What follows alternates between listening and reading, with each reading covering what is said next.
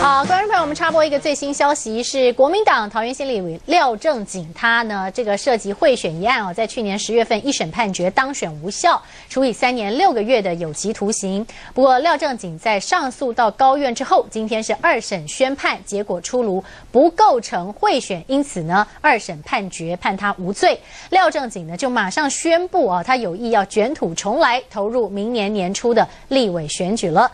好，另外呢，这个国民党提名这刺客级的候选人啊，也选中了钱维娟，而钱维娟也已经在日前宣布投入这个呃绿军的大票仓啊，来参选五股、泸州还有三重的立委。而钱维娟呢，她也特地啊到立法院去见习，那么她穿的呢还是非常的这个运动风。那当然呢，对于这个选情的部分，我们看到立法院长王金平啊，甚至还说好像不是那么容易哦。我们来看一下这则报道。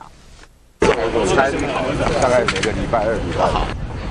招牌马尾，穿白色衬衫，宽松垮裤配运动鞋。钱维娟一身运动装扮，首度以立委参选人身份拜访立院，就像刘姥姥逛大观园，还在常发生推挤打架的一场前停下脚步。个人才是不不大建议是这样子，因为我我觉得那个打韩国人我很厉害，打台湾人就不必了。对对对。强调动口不动手，钱卫娟想塑造自己的专业形象，还特地来找立法院大家长王金平。好了，钱维娟加油！钱维娟加油！口号喊的哩哩啦啦，但王金平可是卖力帮他抬轿，连女英雄都说出口。只是以后一旦当选立委，钱卫娟还会这么 man 勇闯政坛吗？膝盖两个脚都开过刀了，所以穿有跟的，我想可能这个会尽量避免。那套装呢？套装是有可能的，对，我想这个有些正式的场合是需要。那目前，诶，只是来看考场，所以呢，所以目前的身份还是学生嘛，所以我还是保有我现在我自己就是这个样子。穿套装已经是最大极限，要他穿裙子、高跟鞋，恐怕让参加十五届威廉琼斯杯体坛天不怕地不怕的钱维娟大退堂鼓。就是黄木金家人台北采访报道。好，没有开始跑透透啊，可是已经感觉上呢，针锋相对的意味非常的浓厚了。我们来看这个钱维娟呢，她将会对上民进党的林淑芬啊。那么这两位女性候选人，她们要大对决，到底谁会胜出呢？林淑芬似乎对于这个钱维娟呢来势汹汹啊，不知道她怎么看呢？但是至少她话是这样讲的，她说钱维娟是马英九用来骗年轻选票的哈。这个话到底是不是说的太酸呢？那钱维娟她自己又怎么讲呢？她说林淑芬有小辣。椒支撑拿来配面最香，而且刚刚呢，我们也看到他怎么说啊？他说：“你们都知道打韩国人我很厉害，但是呢，如果是打自己人台湾人的话，那就不必了。”嗯，这个话是不是真的说的漂亮，很有智慧呢？来，这个林委员，你是前辈，你来先给他打个分数。非常看好钱维娟哦。嗯，你看他说话还没有进立法院，可是我觉得他讲话比。大多数的立法委员还有智慧哦，他讲话已经露出机锋，不卑不亢啊，我是非常看好他。林淑芬是也是口才非常好了，也是够够彪悍的。可是林淑芬讲一句话，马英九用钱维娟是来骗年轻人选票，我告诉你，这就表示林淑芬已经受到压力了。钱维娟绝对会在年轻人里面拿非常多非常多的票。哦，好，所以这个是我看好他的。啊，原因就是说，人家讲说什么刺客啦，什么漂亮宝贝哈，我认为所谓的漂亮宝贝哈，那就表示你只有脸蛋漂亮。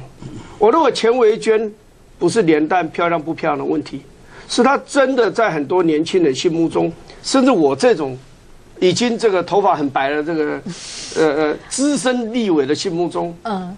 他是一个英雄啊，他这个纵横蓝坛，替国家争了很多的光荣啊，所以这个人不是空口说白话、说大话的人啊，他是真的是有业绩的，他是有一个很好的这个这个这个背景在那里的，所以所以他会有有票，因为大家还是喜欢运动的这个英雄啊，运动的英雄，所以我觉得选钱维娟是对国民党来讲，这个是。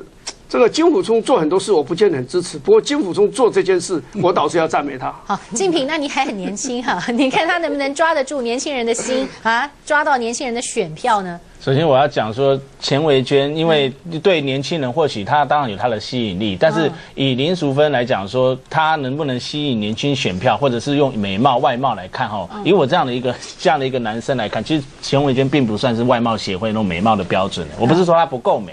而是说，你觉得他太高吧？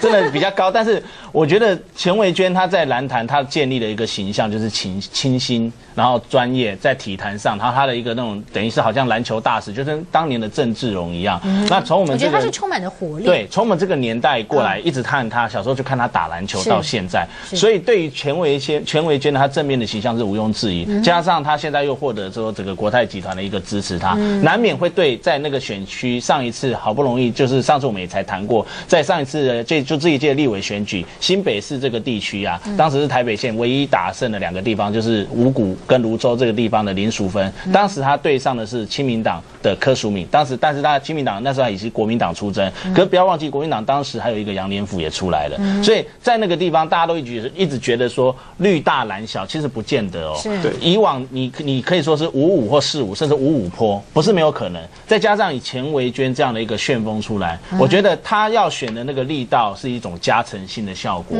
不见得好像他出来就没有胜算哦。搞不好这个地方，因为钱维娟不只是国民党在他推出这一张好牌也加分，甚至说等于把钱维娟也送进立法院也不一定。所以他今天才笑称说他去来看考场，然后你看他去拜会那个王金平，举手投足，毕竟是在那个国际体坛征战多年，他真的有那种大将之风。所以碰到了立委选举，我相信他也不会觉得好像很陌生，只是换了一个环境而已。相对的，刚刚讲到那个赵。世强在大安区，他认为说他他自比为是强，那个对手是强棒，蒋乃馨是强棒，然后他说强啊，他说强棒碰到古巴，那我觉得用这个来比喻的话，我也要还送给他，觉得强棒碰到古巴，搞不好真的还是呃败多胜少，在大安区那个选区，搞不好就是古巴会赢。